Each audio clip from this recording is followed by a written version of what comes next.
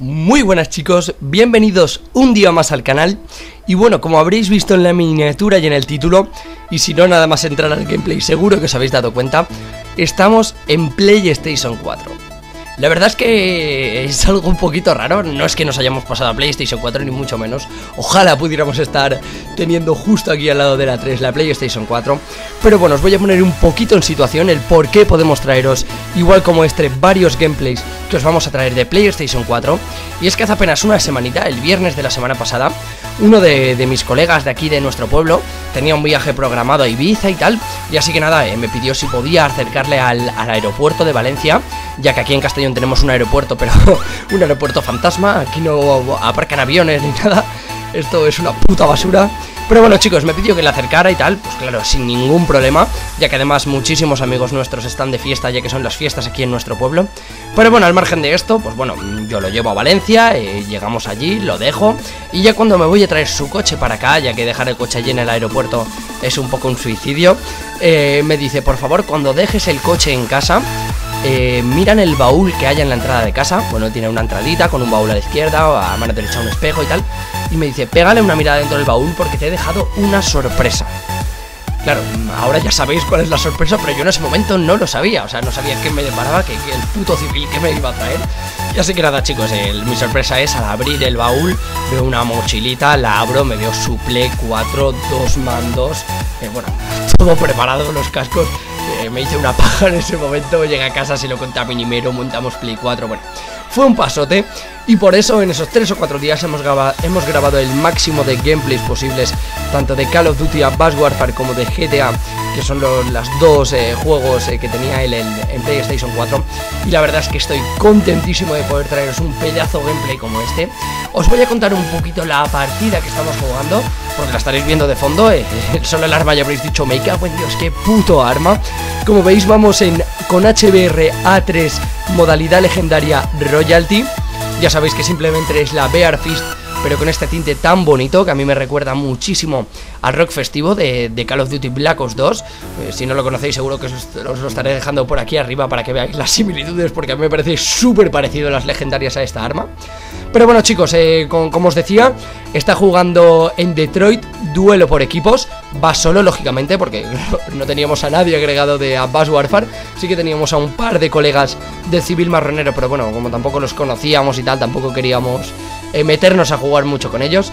Pero bueno, Minimero, como os decía, lleva HBRA3 Royalty. Eh, en cuanto a accesorios, lleva mira de punto rojo. Ya sabéis que la Bear Fist eh, obliga a llevar la mira de punto rojo.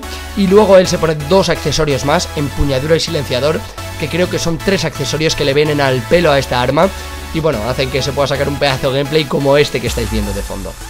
Luego, en cuanto a ventajas, como siempre venimos trayendo en PlayStation 3, desapercibido ojo ciego por un lado, y luego doble ventaja 3 con dureza y carroñero, que hacen pues que bueno, que se pueda conseguir eh, jugar de una manera totalmente increíble y que muchas balas se esponjes de una manera muy, muy, muy extrema. Luego en cuanto a hiperactividad, he llevado una hiperactividad de EXO. Yo personalmente eh, no soy partidario de llevar ninguna, ninguna cosa extra con el EXO, en plan como puede ser la hiperactividad que lleva puesta, o como el vuelo, o como el EXO escudo. No son cosas que me gusten para nada, ya que, pues bueno, aprovechando ya el frenetismo que te deja el simple hecho de llevar el EXO, no creo que sea necesario meterle nada más. Pero bueno, él la lleva y la aprovecha bastante bien en algunos momentos, como por ejemplo cuando le matan y tal. Pero bueno, luego en cuanto a rachas, que estaréis viendo, los que se las acabará de tirar y ahora se las volverá a tirar otra vez, ya que hay un momento que las duplica. En cuanto a rachas, lleva una de ayuda y dos de ataque.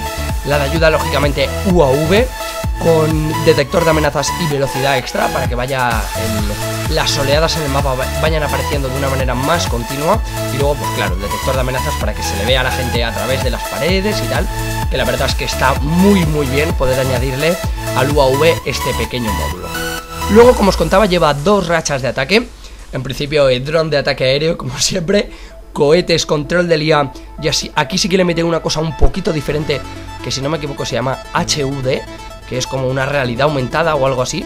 La verdad es que está bastante bien, eh, cheta un poquito más el dron para poder, eh, pues vamos, a hacerse tranquilamente 5 o 6 bajas cada vez que se lo lanza.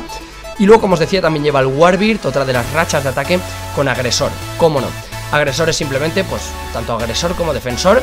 Agresor es simplemente para que el Warbird busque a otra gente en la parte del mapa en la que tú no estás. Y defensor, pues, es simplemente para que vaya cubriéndote un poquito por las zonas en las que tú en ese momento, pues, no estás jugando. De hecho, aquí lo estaréis viendo en el gameplay, no sé si estaréis viéndolo ahora o no, pero bueno, Warbird cuando se lo lanza se va eh, lejos de él para intentar buscar a otra gente y poder eh, completar esta rachita tan buena que se consigue sacar en PlayStation 4.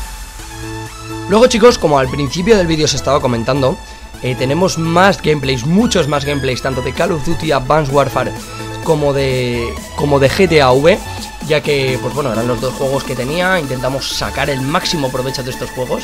Luego también tenemos preparado y para el especial 500 una cosita que tenemos grabada ya en PlayStation 4, pero que de montaje necesita tranquilamente unas 20 o 25 horas de edición y no os exagero chicos, eh, estos vídeos me pueden costar tranquilamente, depende del vídeo, entre 2 y 5 horas de edición, currándome un poquito más o un poquito menos, depende del tipo de gameplay que sea.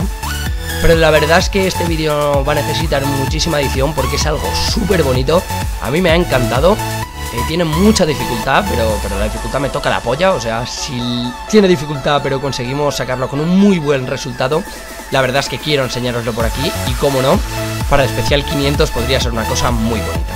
Así que nada, chicos, intentaremos traeros todos los gameplays posibles que tengamos de PlayStation 4.